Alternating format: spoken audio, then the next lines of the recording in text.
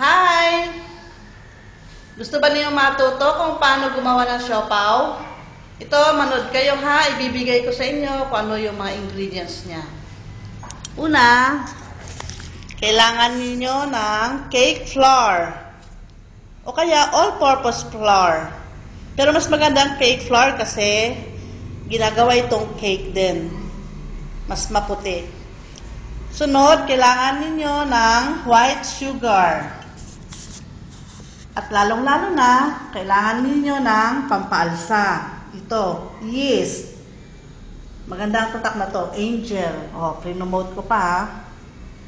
Kailangan din ninyo ng asin, pampalasa.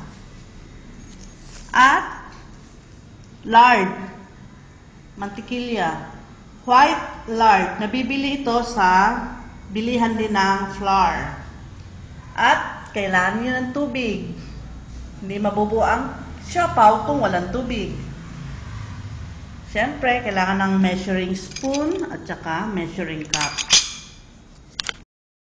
Narito naman ang filling ng siopaw, yung kanyang palaman. Ang niluto ko ay giniling na baboy, nilagyan ko ng konting longganisa, tapos pinasarap ko na lang ang timpla. Parang sunog, di ba? Pero hindi yan sunog. Mukhang sunog lang. Pwede rin kayong gumamit ng mga tira-tirang ulam kagaya ng longganisa, o minudo, adobo, isda. Siyempre, himay-himayin ninyo yung isda. Corn beef, tuna, o kung anong gusto niyo na pwede ipalaman. Huwag lang kalilimutan ha, may itlog na kasama. Nilagang itlog. Narito na yung sauce ng siopaw. Masarap yan kasi may secret ako kung paano gawin ang sauce ng siopaw. Ang siopaw, masarap yan kung masarap yung pagkakagawa ng sauce. Kaya kung gusto niyo matuto kung paano gawa ng sauce, text lang. Magandang gabi po sa inyong lahat. Nandito po kami para gagawa ng siopaw. Una, tinunaw namin yung yes sa maligamgam na tubig. Pagkatapos, haluin yung asin, asukal, at lard at yes sa tubig.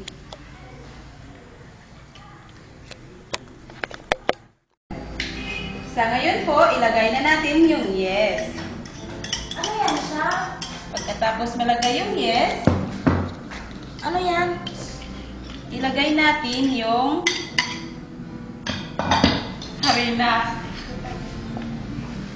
Lagay natin yung harina bago masahin.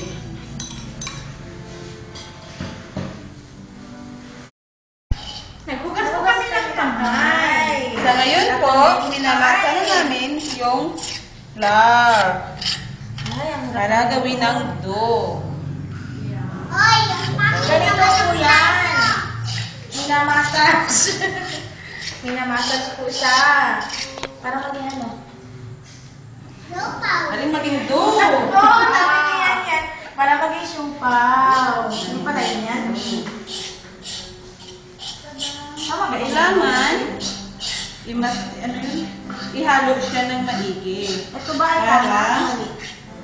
Sisters, basta yung yes niya. Sister lahat naman Ito. Dapat ito mga brothers eh. Saan kaya sila? Doon sa labas, nagigitara. Saan po po? Tagakain. Nagantay ng kain. Nito. Tama, mga girls. Tama! Dapat yan yan. Dapat nga yung isa dyan, tutulong din kasi siya ay brother. Dapat tulong din siya.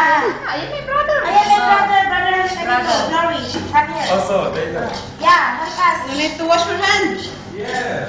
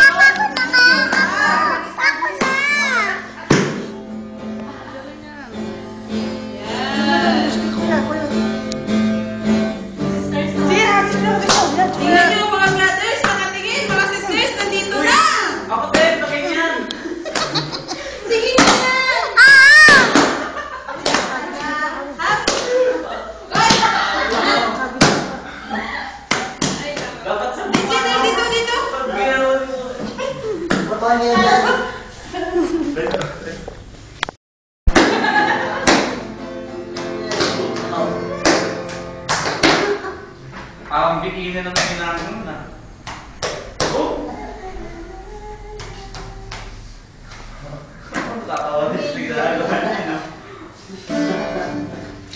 Okay, eh. Sa ngayon po, natapos na naming magmasa. Nag-isit aside siya, tapos i-cover wrap, lagyan ng cover hanggat pumalsa.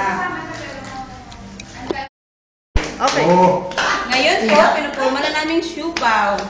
Binibilog-bilog, nilapad-lapad, at saka lagyan ng sauce, at saka ipurma yung siupaw. At nilalagyan Kaya ng ngayon, bakterya. ito na ang siupaw! Malo mamaya, lulutuin na namin yan. Ready to eat! Ready, ready to damage. Hello po! Nandito na naman tayo. Ito na yung finished product! Di ba? Ang sarap! Oo!